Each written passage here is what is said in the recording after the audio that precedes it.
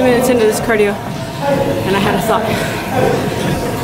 So I said that the incline was at 12% and I'm going at, catch my breath, three miles per hour.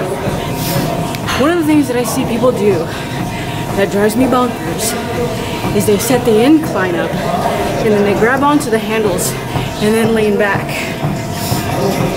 The problem with that is, use my phone.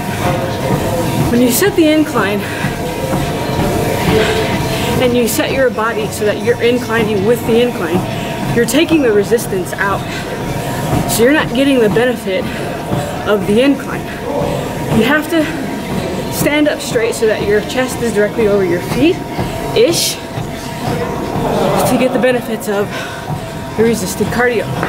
You're gonna feel it a lot more in your butt, a lot more in your hamstrings. Hold on.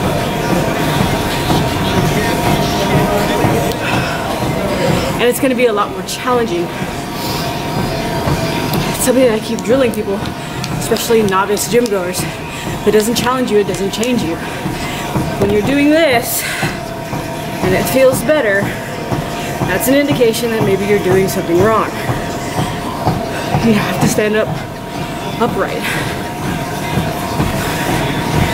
That's all I got.